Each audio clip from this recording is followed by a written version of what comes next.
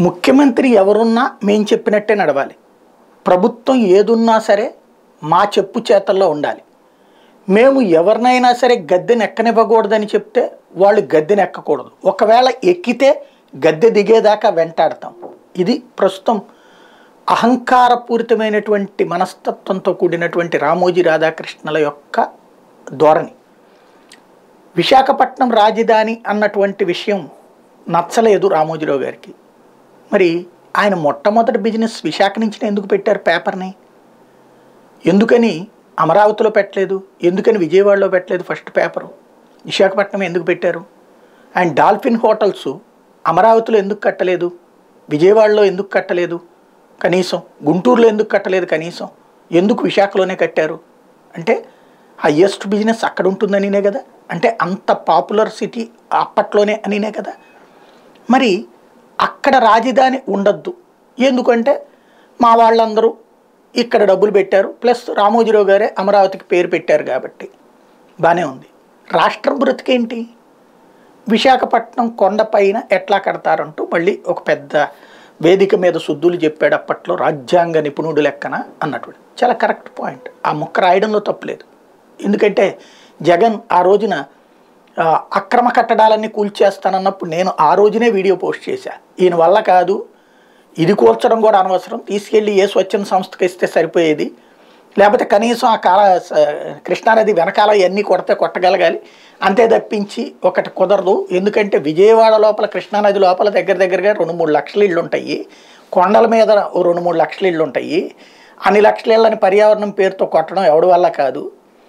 అవన్నీ మాటలు చెప్పడానికే సరిపోతాయి నేను ఆ రోజునే చెప్పాను. కాబట్టి అది జరగదు. కాకపోతే ఇక్కడ దాంట్లో చేసిన దాన్ని తప్పు తప్పు అంటున్నాడు. కరెక్టే. రామోజీరావు గారు. అది తప్పు అన్నారు. బాగానే ఉంది. మరి అక్రమ నిర్మాణాలను నోటీసులు ఇచ్చినటువంటి దేవినేని ఉమయం అనాలా అదే ఇంట్లో ఉన్నటువంటి చంద్రబాబు నాయుడు ఏమనాలి? అవి అక్రమ నిర్మాణం అని ముందే తెలుసు. తెలిసి చంద్రబాబు గారు అక్కడే ఉన్నారు. రెండవది అక్కడే వేదిక కట్టారు. మరి అది దుర్మార్గం కాదా? ఇక్కడ కొండపైన అక్రమ నిర్మాణం అని ఎవడూ చెప్పలా ముందు? ఇలా కట్టద్దు అన్నారు అసలు కొండపైన కట్టకూడదని ఎక్కడ నిబంధన లేదు. కొండపైన కట్టకూడదంటే కైలాసగిరి ఉండకూడదు కదా? కొండపైన కట్టకూడదంటే కనుక ఆ కొండలపైన ఇల్లు ఉండకూడదు కదా? ఆరిలోవా తగ తగరపాలస ఇట్లాంటి ప్రాంతాల్లో ఉన్నట్టు కొండల మీద ఎక్కడ ఎందుకు అసలు రామోజీరావు గారి ఇల్లు ఉండొచ్చా? ఒక జలస్ ఫీల్ అవుతున్నట్టున్నారు రామోజీరావు గారు. భారతదేశంలో అత్యద్భుతమైనటువంటి ఇల్లు ఆయందే. రామోజీ ఫిలిం సిటీలో కొండ పైన ఉంటుంది ఇల్లు ఆయింది. కొండ పైకి. ఆ కొండపై నుంచి చూసినప్పుడు చుట్టూ పచ్చదనం అంటే చుట్టూ పల్లెలు ఒకవైపున ఇటు పక్కన హై లుక్తో ఉండేటువంటి రామోజీ ఫిలిం సిటీ కనబడతా ఉంటుంది.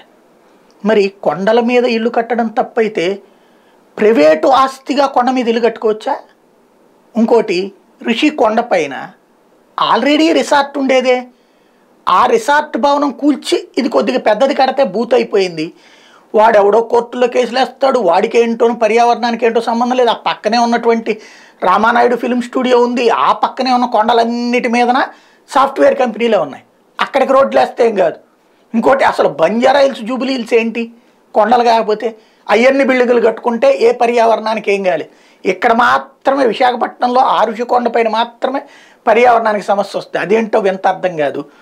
వినేవాడు వెర్రోడైతే చెప్పేవాడే చంద్రబాబు పత్రికలు అన్నట్టు రూట్లోకి వెళ్ళిపోయింది ఇది.